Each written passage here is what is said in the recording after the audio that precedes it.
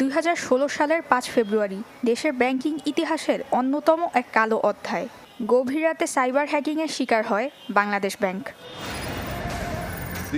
সেদিন আন্তর্জাতিক লেনদেন আদান প্রদানের সেবা, সুইফটের স্পর্শকাতর ও কঠোর নিরাপত্তাকে বুড়ো আঙুল দেখিয়ে হাতিয়ে নেওয়া হয় ফেডারেল রিজার্ভে রাখা বাংলাদেশ ব্যাংকের আট কোটি দশ লাখ ডলার। পঁয়ত্রিশটি ভুয়া বার্তা পাঠিয়ে এ অর্থ চুরি করে হ্যাকাররা। তবে শ্রীলঙ্কার এক ভুয়া এনজিওর নামে দুই কোটি ডলার সরিয়ে নেওয়া হলেও বানানের এক ভুলের কারণে শেষ মুহূর্তে তা আটকে যায়। পুরো বিশ্বে সারা ফেলে দেওয়া ব্যাংকিং খাতের অন্যতম বড় ওই হ্যাকিং, এবার আসে হলিউডের পর্দায়। কীভাবে হয়েছিল এই রিজার্ভ চুরি? কিভাবেই বা বানান ভুলে দৈবক্রমে আংশিক ব্যর্থ হয় হ্যাকার দল? এই ঘটনা নিয়ে বিলিয়ন ডলার হাইস্ট নামে এক তথ্যচিত্র নির্মাণ করেছেন পরিচালক Daniel Gordon.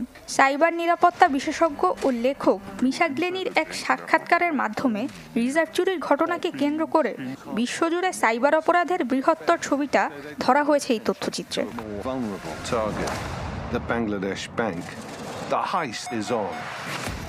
Universal Pictures Home এন্টারটেনমেন্টের ব্যানারে তথ্যচিত্রটি মুক্তি পেতে পারে আগামী পনেরোই আগস্ট